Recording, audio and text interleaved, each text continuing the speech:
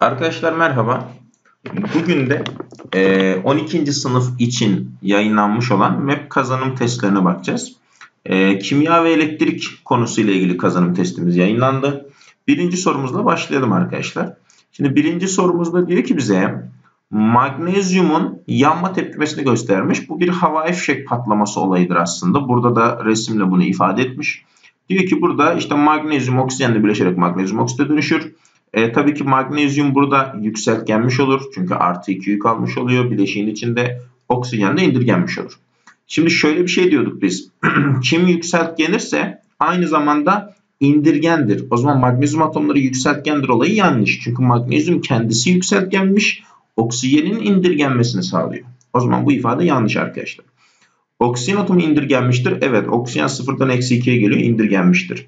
Havai fişeklerde beyaz kıvılcım oluşumu redoks olayıdır.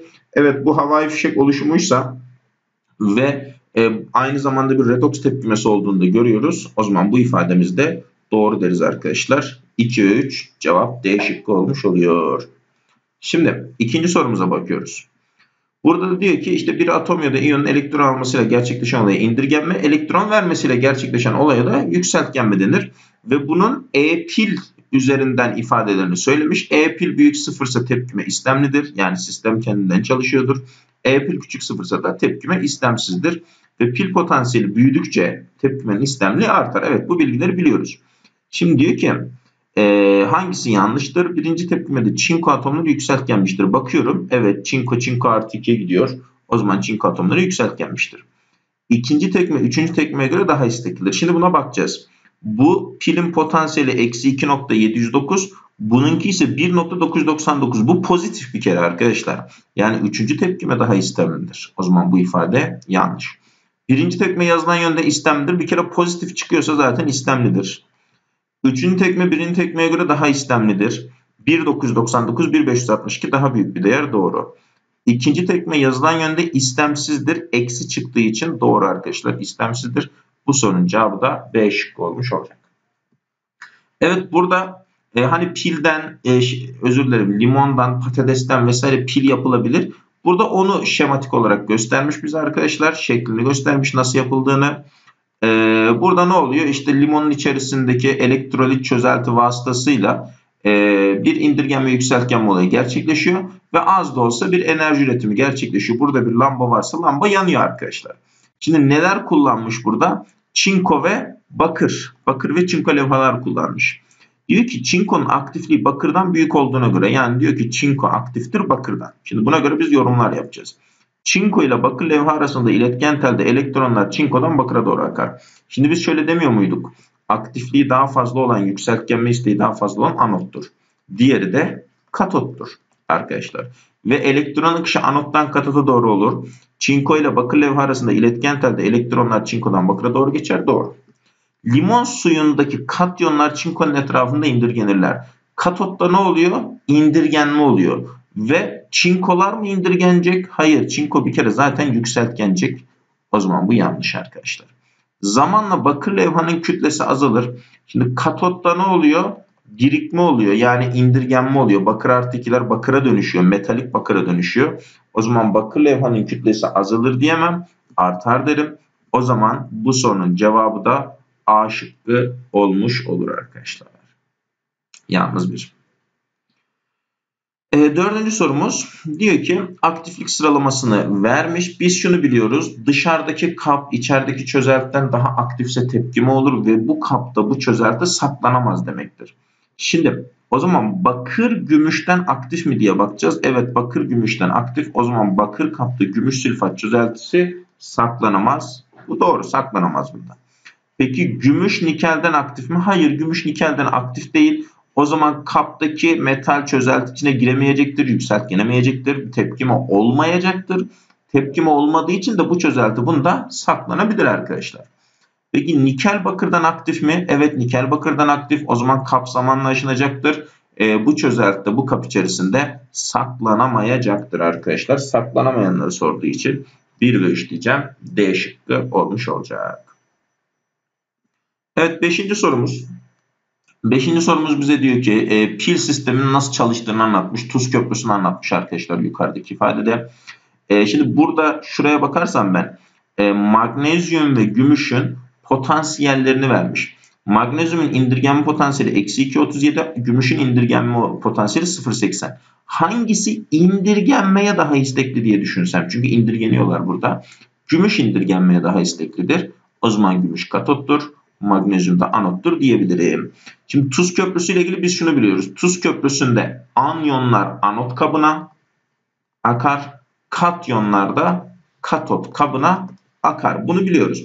Tuz köprüsünde anyonlar gümüş elektrotun bulunduğu yarı hücreye, e, tuz köprüsünde anyonlar gümüş elektrotun bulunduğu yarı hücreye, katyonlar ise magnezyum elektrotun bulunduğu yarı hücreye doğru geçer demiş. Yanlış bir ifade arkadaşlar. Zaten yanlışı direkt bulmuş olduk. Çünkü anyonlar anot kabına yani magnezyumun olduğu tarafa kayar demiştik biz. Ama yine devam edelim. Magnezyum elektrot anot gümüş katottur. Doğru. Magnezyum bulunduğu yarı hücrede magnezyum derişimi artar çünkü yükseltgenme olacak orada. Doğru. Gümüş elektrotun bulunduğu yarı hücrede zamanla gümüş derişimi azalır. Evet orada da indirgenme olacak. Bu da doğru. Dış devrede elektronun hareketi anottan katotaydı. Magnezyumdan gümüşe doğrudur. Doğru. Zamanla magnezyum elektronun kütlesi azalırken çünkü orada yükseltgenme oluyor çözeltiye geçiyor. Doğru. Gümüş elektronun kütlesi artar. O da çubuğa doğru indirgeniyor. Doğru bir ifade. O zaman bunun cevabı da A şıkkı diyebiliriz arkadaşlar.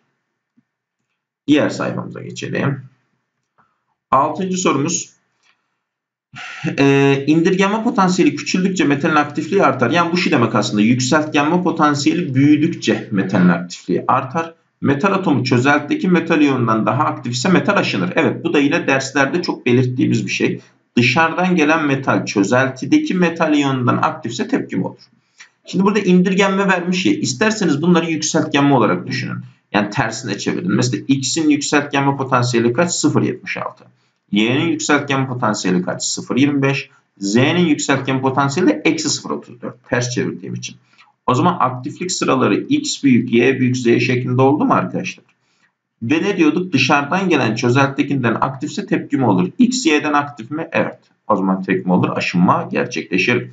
Peki Y, Z'den aktif mi? Evet. Tepkime olur. Aşınma gerçekleşir. Z, X'den aktif mi? Hayır. O zaman tepkime olmaz.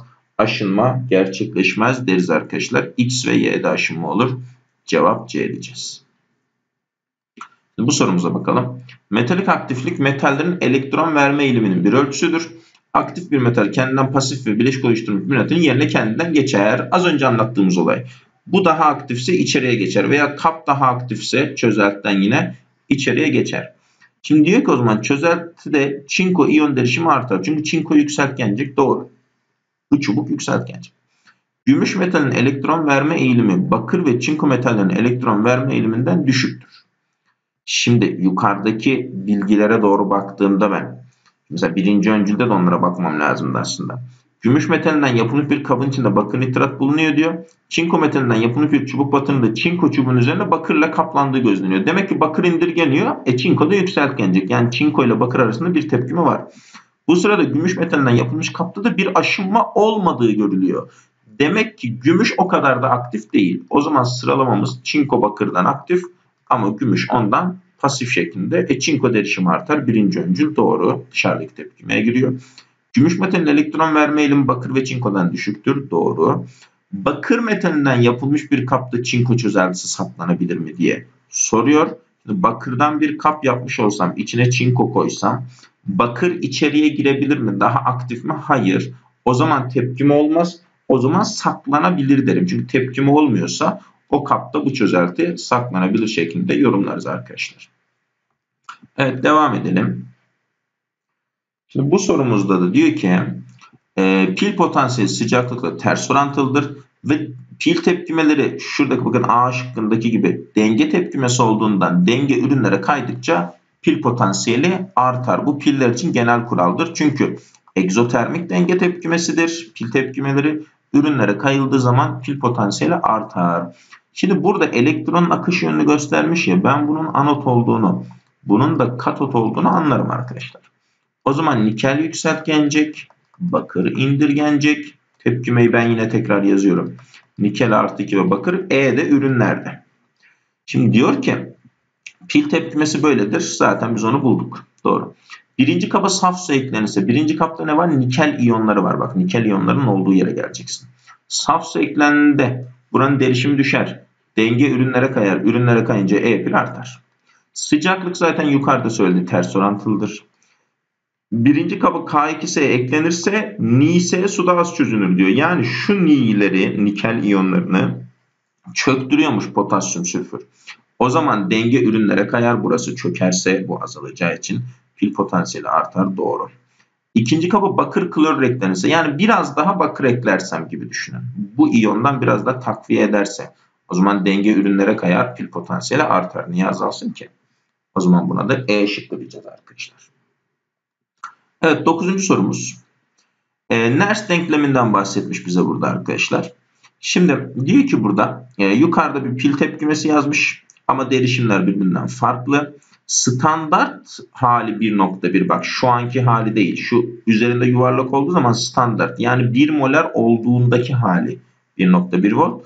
Bu derişimlerde tabii ki farklı bir değer gelecek. Diyor ki çinko yarı hücresinde yükseltgen olmuştur. Onu zaten görüyoruz. Çinko yükseltgeniyor burada. Zamanla bakır artı 2 iyonlarını içeren çözelti derişimi azalır. Evet bakır artı 2 indirgeniyor. Derişimdeki değişim pil potansiyelinin azalmasına sebep olmuştur. Şimdi onu biz bulacağız arkadaşlar. Nasıl bulacağız? Mesela nasıl yapıyormuşuz? E pil eşittir 1.1 eksi 0.0592 bölü n'im kaç burada? 2 çarpı logaritma. Anotun derişimi kaç burası? 1, 2, 3, 4. 10 üzeri eksi 4. Bölü 10 üzeri eksi 2.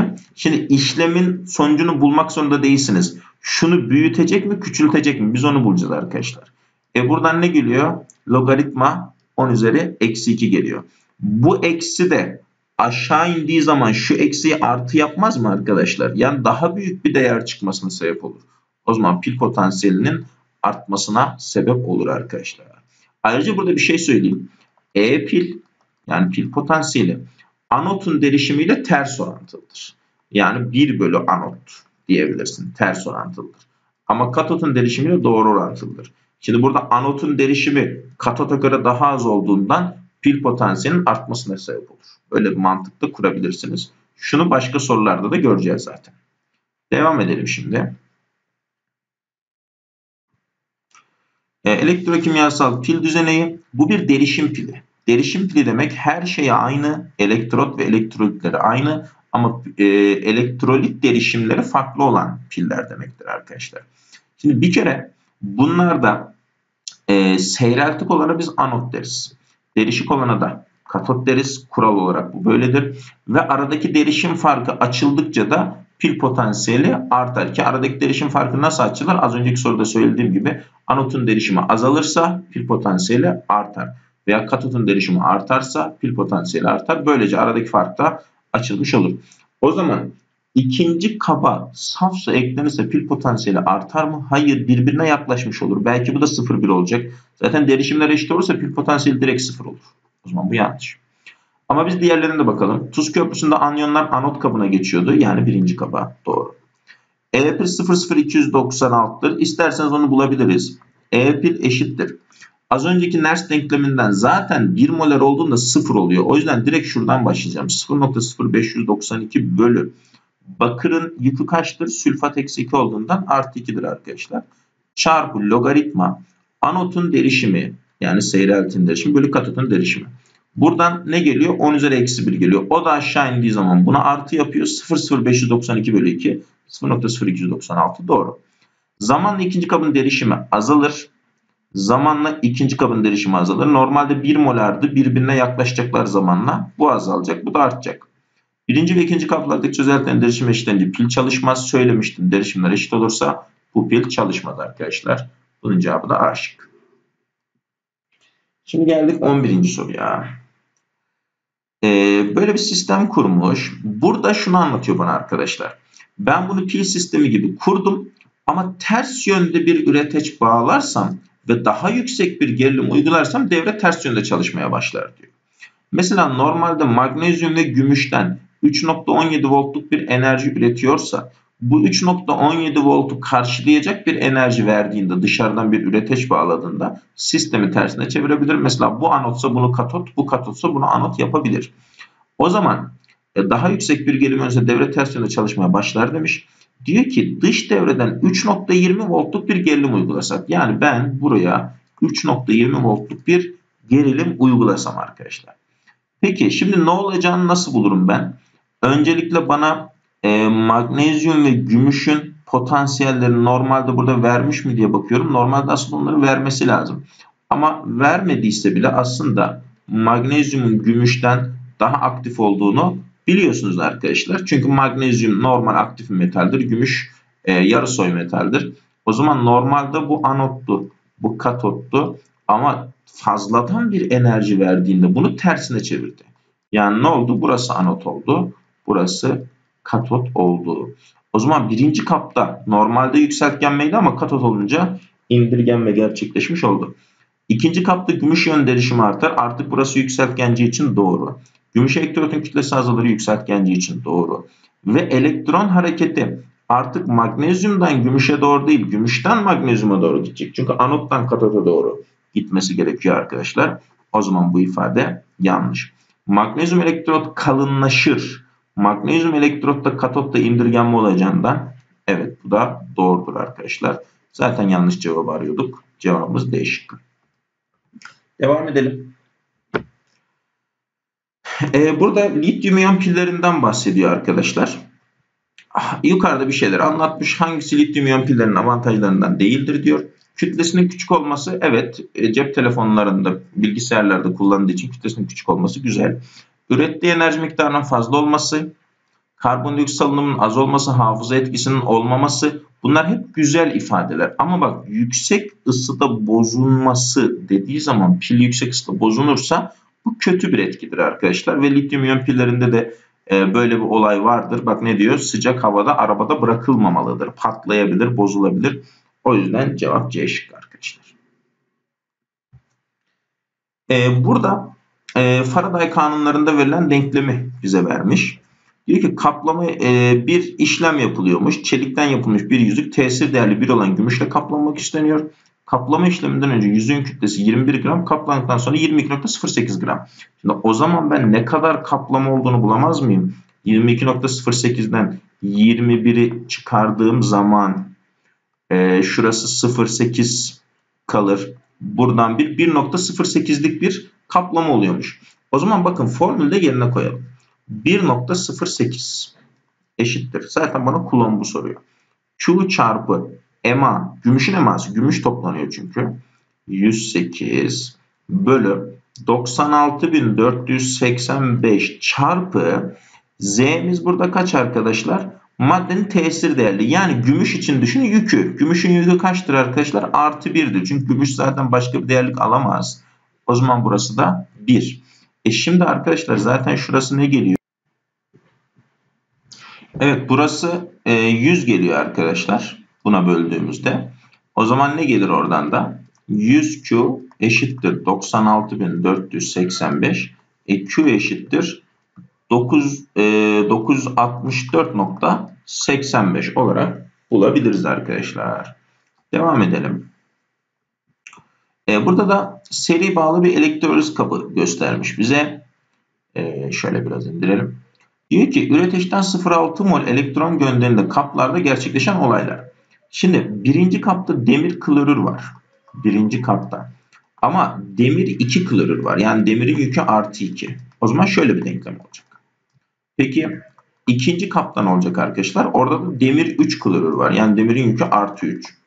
3 elektron ve demir. Şimdi diyor ki 0,6 mol elektron gönderdim diye. Bu 0,6 ise burası 0,3. Yine her ikisinden 0,6 gittiğinden burası 0,6 ise burası 0,2. Ve bunların kütleri emalarıyla çarptığında zaten burada verilen değerleri de bulabiliyorsun. Bunları bana zaten vermiş. Ayrıca ikisinden de klor da çıkacaktır anotlardan. Diyor ki elektroz edilen sıvılara devreden geçen yük miktarı ile elektrotlara toplanan madde miktarı doğru orantılıdır. Bana ulaşılabilir mi ulaşılamaz mı diye söylüyor arkadaşlar. Ama devreden geçen yük miktarını söylememiş ki direkt elektronun ne kadar olduğunu söylemiş. O yüzden ben buna ulaşamam. Ha doğru mudur derseniz evet doğrudur. Ama ulaşabildiğim bir şey değil. Direkt elektronunu söylemiş. Hani bana deseydi ki 96.485 kulomb geçiyor. O kadar madde birikiyor falan o zaman olurdu. Ama maddelerin iyon yükleriyle elektrotları toplanan madde miktarları ters orantılıdır. Şimdi bakın 2 olan da 16.8, 3 olan da 11.2 toplanıyor. Evet işte bunu anlayabilirim ben buradan. Seri bağlı elektrolit devrelerinde geçen yük miktarı eşittir. Bakın ben bu değerleri nasıl buldum? Her ikisini de aynı alarak buldum. Yani elektronların yükleri eşittir ki elektronların yükleri geçen yükleri de vermiş oluyor. O zaman buna da ben söyleye, bunu da söyleyebilirim arkadaşlar. 2 ve 3 diyebiliriz buna da. Gelelim 15. soruya. E, çatalı gümüşle kaplamak istiyormuş. E, buradan buraya doğru yükseltgenme olup çatalın üzerine de indirgenme olacaktır. Kaplama işlemi yapılacak metalin tuzunun sulu çözeltisi elektrolit olarak seçilmiştir. Evet gümüşün tuzu elektrolit olarak seçilmiş. Anotta metalik gümüş yükseltgenlik çözeltiye geçer. Doğru. Katotta ise bu şekilde indirgenme olur. Gümüşler ne yapacak? Bunun üzerine indirgenecek. Doğru arkadaşlar. Kolay bir soru. Bunun cevabı da E şıkkı.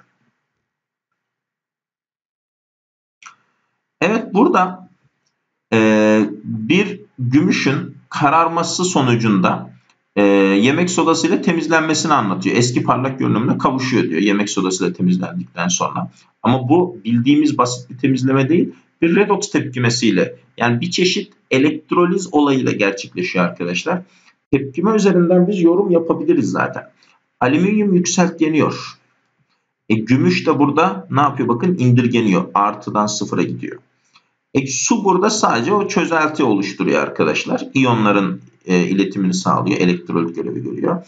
Alüminyumdan gümüşe doğru elektronlar hareket etmiştir. Alüminyum anot olduğuna göre evet doğrudur diyebiliriz. Çünkü anottan katota elektronlar hareket ediyordu. Gümüş artı indirgenmiştir. Evet, evet gümüş indirgeniyor arkadaşlar.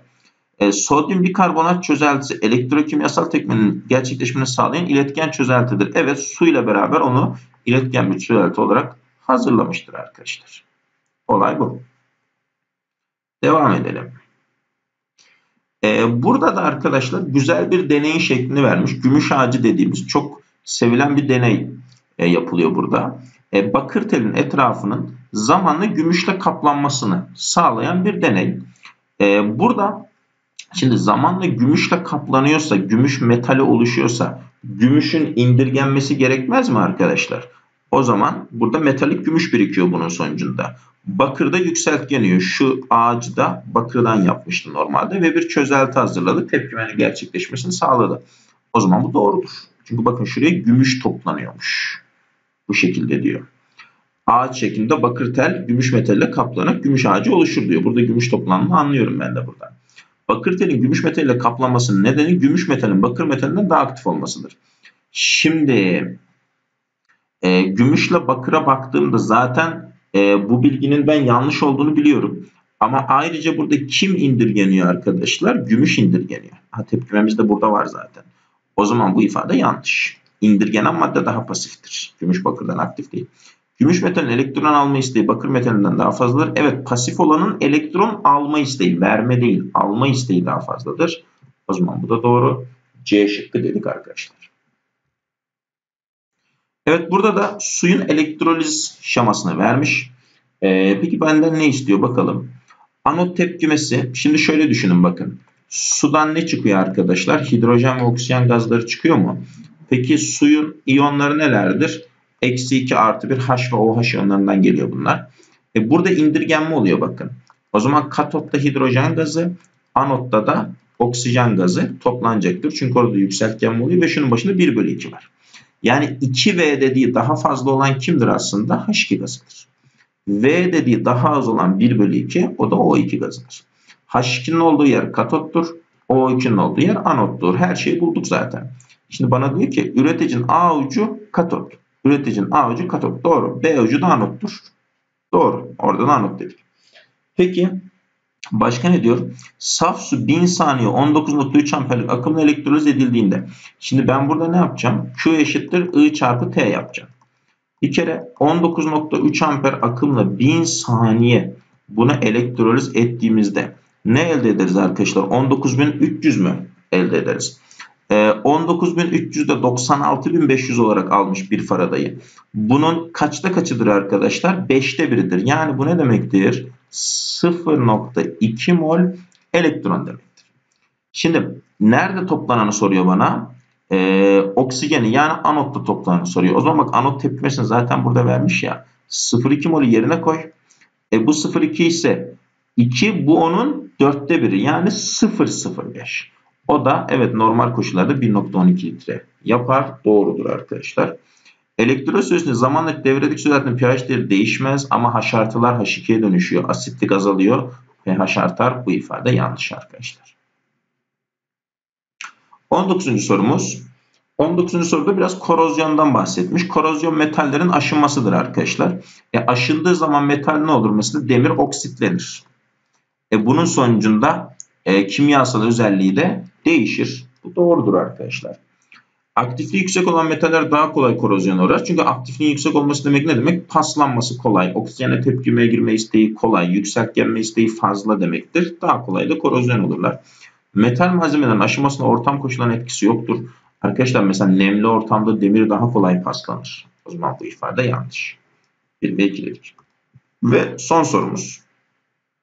Yine bu da korozyonla ilgili. E, 2019 AYT'de çıkan soruya benziyor biraz. Arkadaşlar demir parçaları genelde metaldendir. Ama metalin e, şey, e, özür dilerim demirdendir. Gemi parçaları demirdendir. Demirin üzerine ondan daha aktif bir metal parçası yapıştırdığında bu metal parçası kendini kurban eder. Biz de ona kurban anot deriz. Mesela burada diyor ki çinkoyu kullandılar diyor. Gemi pervanesinde diyor. Çinko parçaları tutundurulmuş diyor. O zaman çinko metali kurban elektrottur. Doğru. Demirin aktifliği çinkodan fazladır. Hayır ondan daha aktif bir şey bağlarsın ki kendini feda etsin. O zaman yanlış.